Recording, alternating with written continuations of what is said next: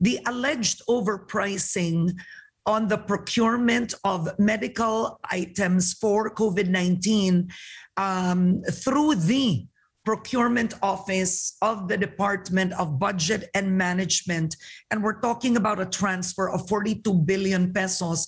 And I just wanted to ask you, Senator Drilon, as I was reading during the break, number one, Christopher Lau, the head of the procurement service of the DBM, resigned in June.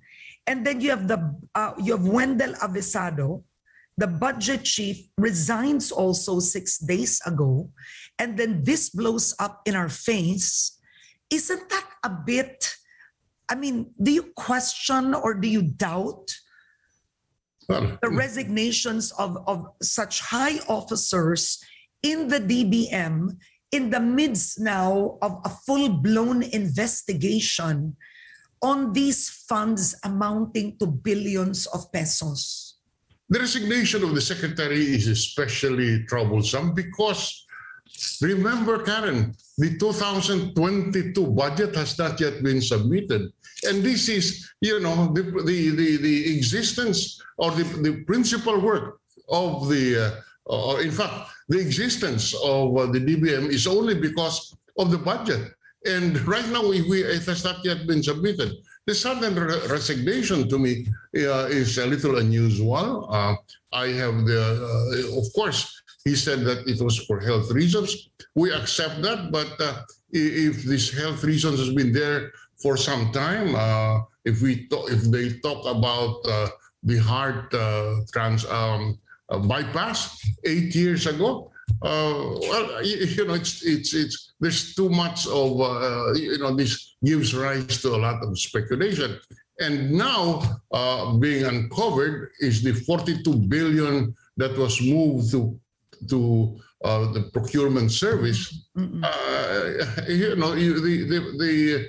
Uh, the, the, we, the, the public speculates uh, it, whether you like it or not uh, especially with this COA report, the public speculates, and given the past uh, incidents where uh, uh the procurement service uh, was uh, was exposed to have been accountable for the overpricing of the face mask and the face shields, which are essential tools to fight the pandemic then you know you put uh, one plus one, uh, and I, we do hope to have the answers to these questions when the blue ribbon will dig deeper into this issue. Mm. So is it right to assume that the Senate Blue Ribbon Committee would be calling Christopher Lau and also Wendel Avisado at one point?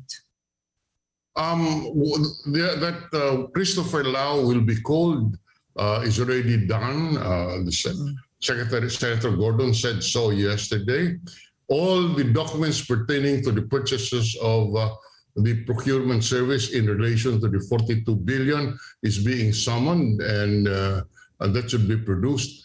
I uh, the, the the the the invitation to uh, Secretary Avisado, I am not aware of, and we assume, we, you know, we we uh, assume regularity, and uh, therefore that he is sick, he is sick. So we we leave it at that. I don't think, I do not know what Senator Gordon will will will will, will decide on. Mm-mm. But uh, as of yesterday, only Christopher Lau was being required to appear before the Blue Ribbon. Okay, there's a question here. I know that the Senate Blue Ribbon Committee is focusing on the health department, correct? So you will not be calling other agency heads because the COA also flagged other agency heads on how they spent the budget, but you are focusing on health.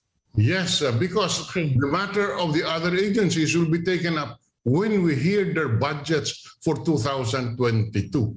Uh, there are a lot of questions that to be asked. Uh, uh, recently, or in the last two days, you hear about OWWA, a trust fund, Yeah. purchasing overpriced sanitary pads. You know, so this will be raised, uh, uh, uh, purchasing it from a non-existing company. Okay. All of this uh, will be raised. All right. Now, the, the COA said uh, by flagging deficiencies, it does not prove corruption. Fair. But do the Filipino people, frankly, have to live with poor managers, inefficient, frankly speaking, um, public officials or people working in government? Do the Filipino people have to live with officials like that? It, it, it, some said it may not be criminal negligence at this point, but is it malfeasance? Is it, are, are there other, I mean, uh, offenses created, uh, committed that could be brought against inefficiency for government officials? Well, uh, uh, certainly, uh, gross negligence is a ground for disciplinary action under our our uh, civil service rules, and uh, uh, a career employee who is negligent can be disciplined anywhere from warning, suspension to dismissal. but insofar as a cabinet member is concerned, uh, whether or not a cabinet member remains in government is a uh, political decision on the part of the president. Nobody can compel the president uh, to uh, to dismiss or to dismiss uh, Secretary Duque because uh, the continued stay of Secretary Duque in the cabinet is a matter of trust on the part of the president. And the president is answerable to the people if uh, uh, uh Secretary Duque does not perform his jobs in accordance his job in accordance with expectation. That ultimately becomes a, uh, a an issue of the appointing power the president. Mm, okay, yeah. Senator Grace Poe already asked uh, yesterday, shouldn't uh, Secretary Duque at this point be suspended by now if she says we're going to apply the same judgment in the PhilHealth executives? The ombudsman um, issued a resolution in October 2020, and he imposed a six-month preventive suspensions on eight PhilHealth executives. They were facing a graft complaint for the alleged misappropriation of 2 billion pesos in the IRM funds. Do you agree with Senator Grace Poe that at this point the ombudsman should have already suspended uh, Secretary Duque, or it's too early for that? Well, you know, uh, Karen, I have not, I do not recall of any member of the cabinet being suspended.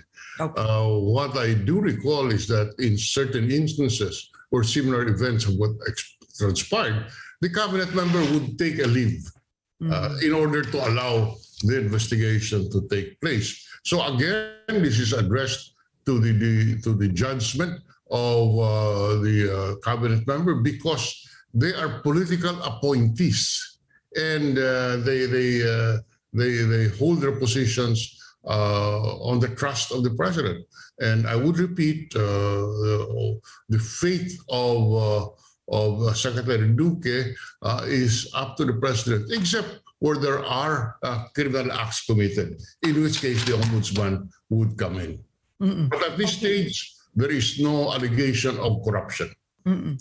Now, um, the administration, the government is asking for a 5 trillion peso budget for 2022, the biggest historically, of course, um, yes. in the country. And uh, of that, the public works, health, and education gets the biggest chunk, of which health is uh, going to present 250 billion pesos. All right, of um, a budget request for the agency. But with the 200, they didn't spend 59. So what is the likelihood of this 5 trillion peso budget for 2022 being approved? We will scrutinize it carefully, uh, Karen.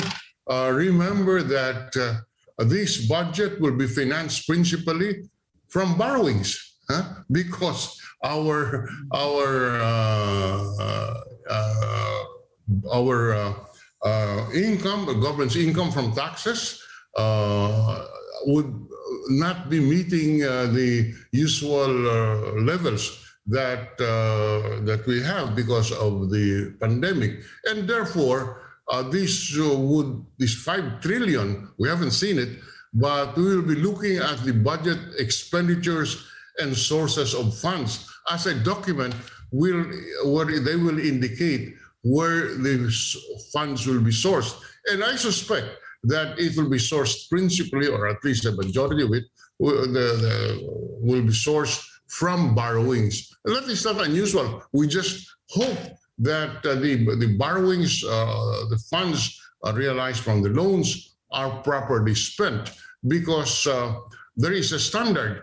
Uh, your the, the borrowing must not exceed 60% of the domestic gross domestic product of the country meaning that if Yeah. the economy is 100 billion Correct. the uh, the uh, borrowing must not exceed uh, 60 billion theoretically and we are And already where are we now? Are we 30 plus percent? we are we are from from what i read it's almost there 60% in other words 60% is the standard that is used by the lenders to uh, judge the ability of uh, the borrower uh, the philippine government To pay. to, to repay Mm-mm. so that is an area that we will examine closely because the 2022 budget will be funded uh, to, a, to a greater extent compared to the previous years, will be funded from borrowings. And therefore, you know, Karen, we must have the correct priorities uh, given our situation.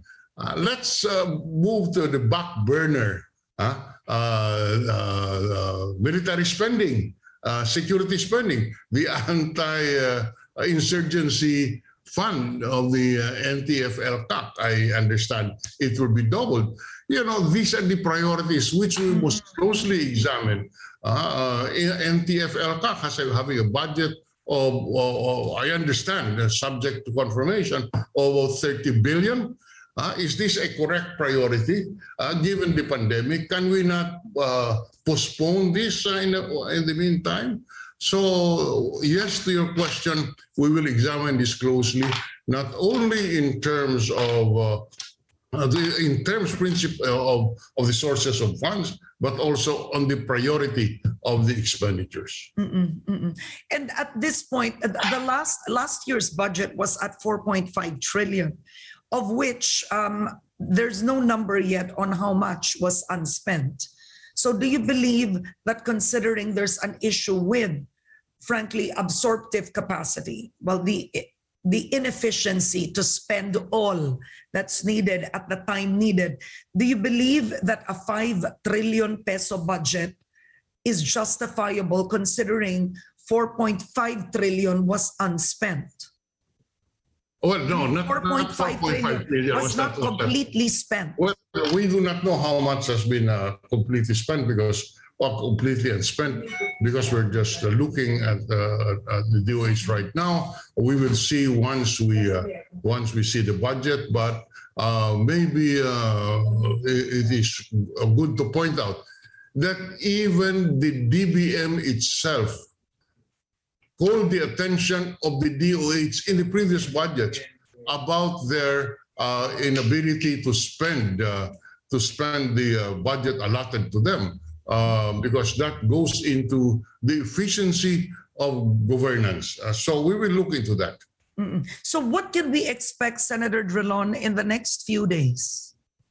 Well, well, for one, I would expect uh, Senator Gordon to uh, uh, call the uh, Blue Ribbon Committee to another hearing, and we would have access and would be busy examining the documents coming from the procurement service of the DBM. Mm-mm. And in the next hearing, will Christopher Lau be attending? I wouldn't know. Uh, he will be invited. Uh, that's all I know. Whether or not he will attend is a matter that uh, I cannot speculate. at But he point. can be subpoenaed, is that Oh, correct? certainly, certainly, he can be subpoenaed. Even if he's resigned? I'm sorry. Yeah, certainly. if he's yes, resigned, yeah. Yes, yes, yes, yes. Okay, so moving forward, how can we solve? How would you, what are your recommendations to solve? Number one, which is, this is of immediate concern, the request of medical frontliners to be paid. They've given a 10-day, uh, kumbaga nagbigay sila ng palugit na sampung araw. If they don't get their benefits, they will go on a medical lockdown or a strike. Well, you, you know, yesterday uh, after debate, it was uh, agreed, and uh, the conclusion was um, the funds are still there in the uh, uh, National Treasury. Uh, the authorization is still good, and the, some refinement because allegedly some of those who are not nurses uh, are not part of it. Uh, although some we, we debated on that because so long as you're exposed, you should be given your allowance. But all of this uh, set aside, their funds are still there. So uh, it behooves upon the Secretary Duque and the Department of Health to act quickly because these people, these health care workers are, are, are in fairness to them. This was promised them. This was uh, provided under the law. A budget was provided. It is uh, it is criminal to continuously deny them them of these benefits. And the money is there. I must repeat, it is in the national coffers. It was not spent. It was returned. On that note, Senator Franklin Drilon, thank you, sir, for your time this morning and your insights on Head Start. Thank you. Thank you, Karen, for having me again.